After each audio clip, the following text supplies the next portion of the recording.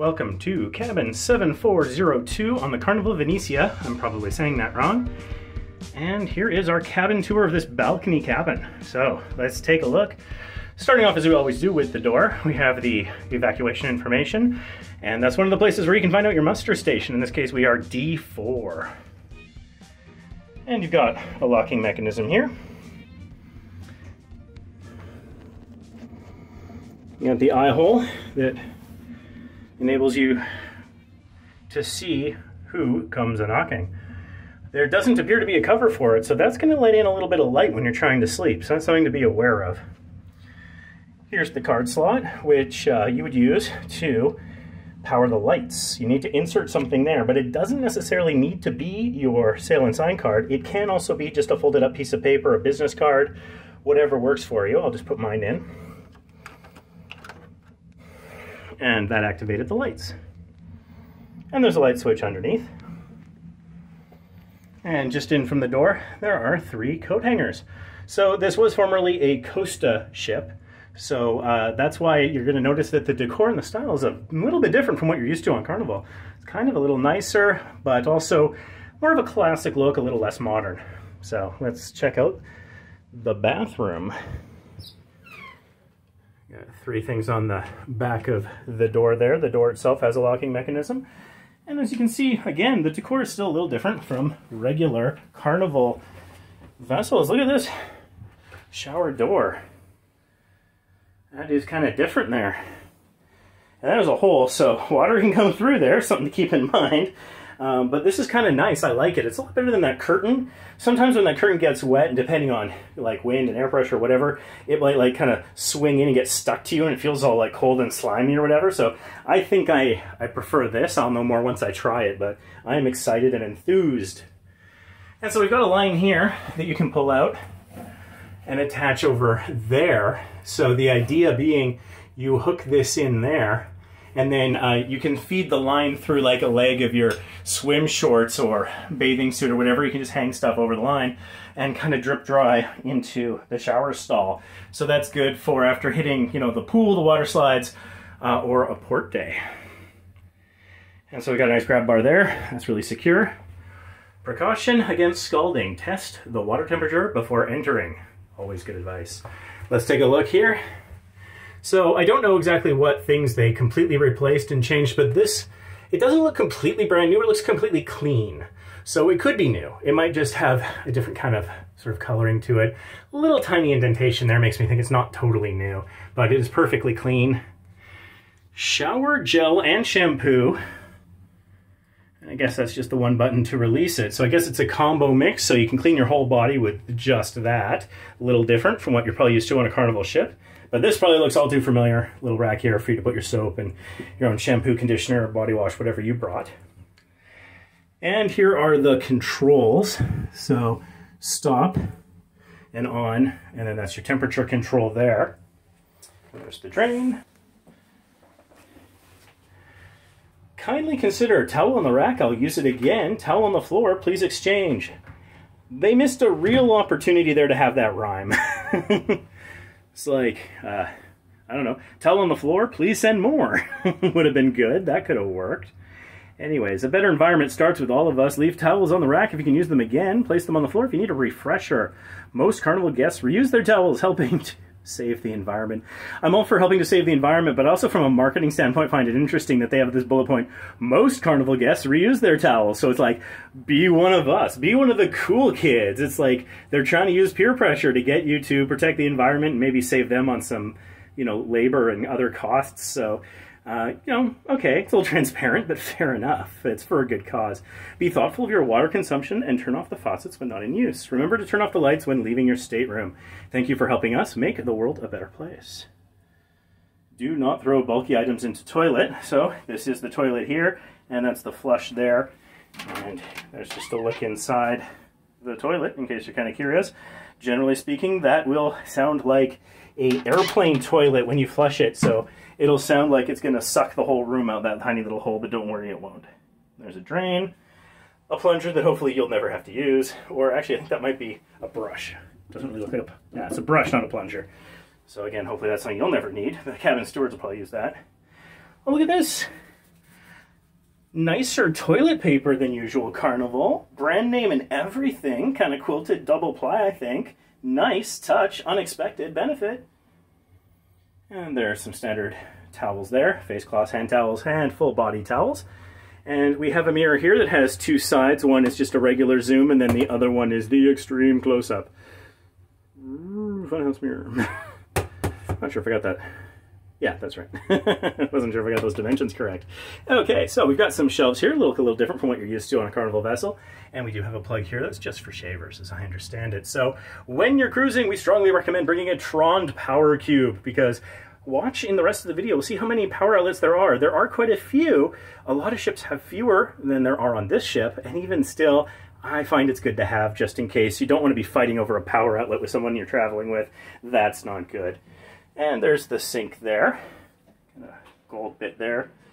And there's your standard soap, a couple of glasses, a couple more towels, which is nice. I appreciate that.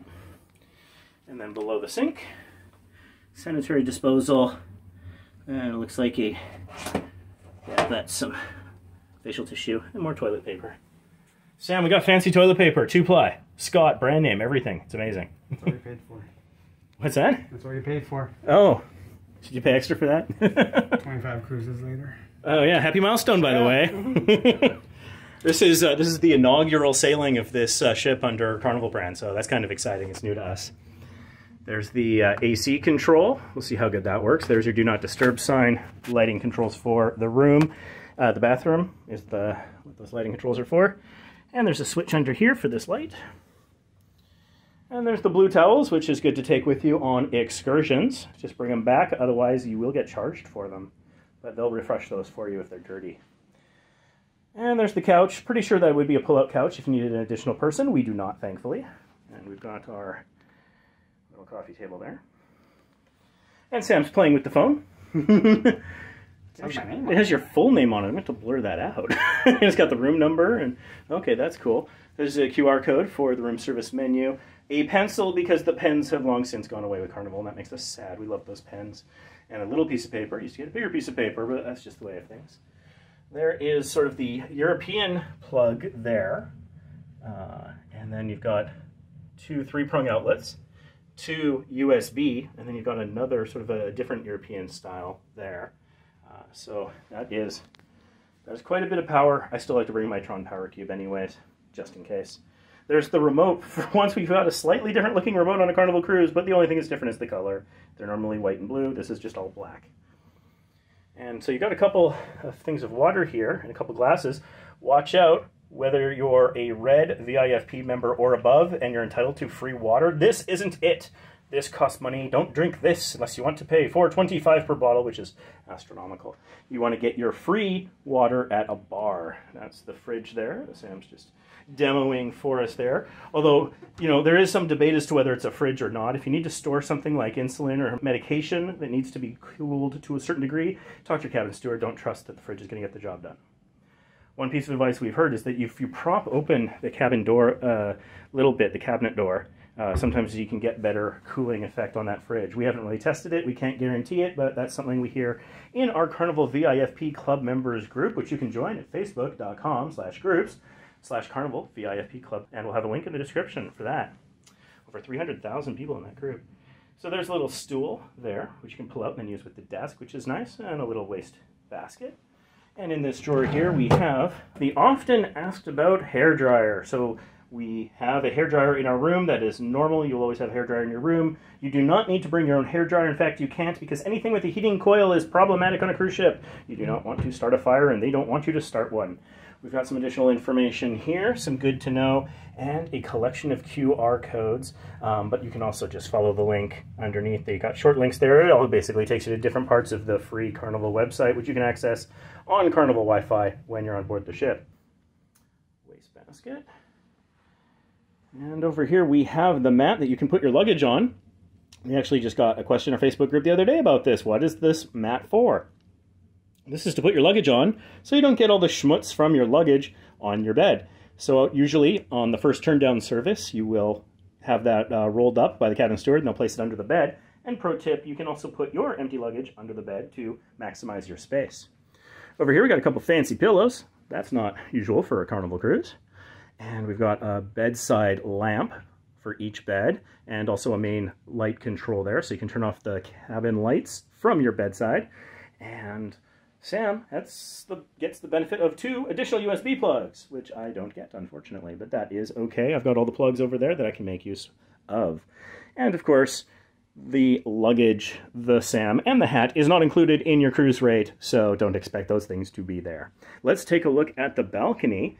It's got uh, some nice curtains here with this kind of cord holding them back, which I don't think I could unravel that if I wanted to. I think I'm just going to like pull it out when I need to close the curtains.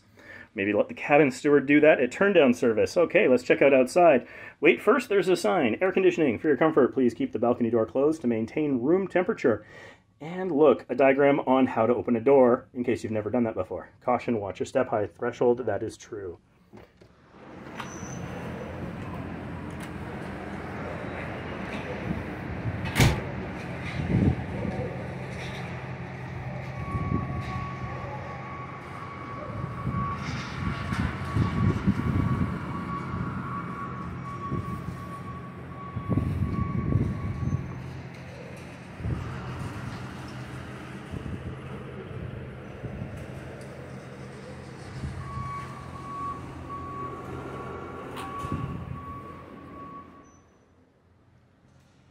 And so that's our little cabin tour of this regular balcony cabin here on deck 7 of the brand new Carnival Venezia.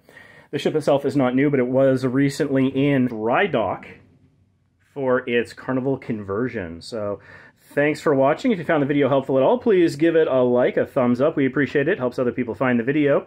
And if you haven't already, please subscribe to the channel. We've got all sorts of tips, whether you're cruising, road tripping, taking a traditional vacation, or even a train.